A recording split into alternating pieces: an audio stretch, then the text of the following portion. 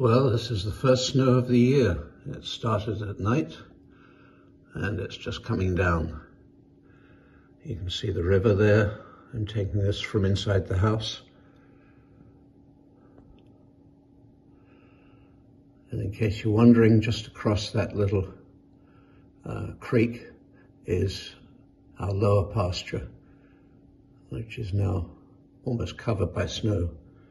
So that gives you a sense of what it's like here in late fall. Now I expect this to probably melt over the next couple of days. We'll have a few good days and then it'll set in for good. Right down in the river, you probably can't see, but there are ducks and geese. We've been having quite a few uh, overflights of flocks of geese and uh, there's probably still a lot around, but they're all headed south right now.